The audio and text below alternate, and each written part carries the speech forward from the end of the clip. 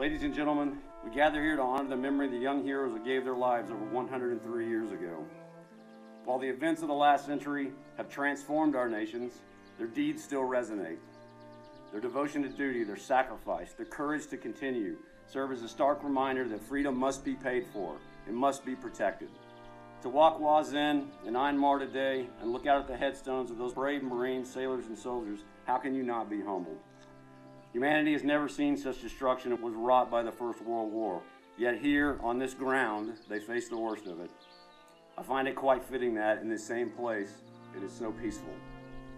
The alliance between France and the United States is and will remain strong, and has served as a bedrock for a greater alliance built on nations that once fought as enemies. For the first time in the 99th, we brought the Germans in there, and there was a lot of skepticism just because they were on the other side of, of the, uh, the line during that time. But now they're a great ally of ours, and I think it helps us learn from our past, move forward to our future, and celebrate uh, the alliances we do have with all of our key allies and partners. And just seeing that shared history um, bonds us together even greater as we go towards the future.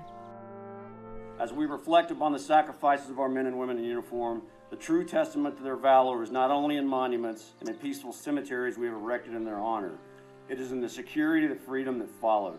Our way of life is worth defending and it's worth defending forward. We must never forget this.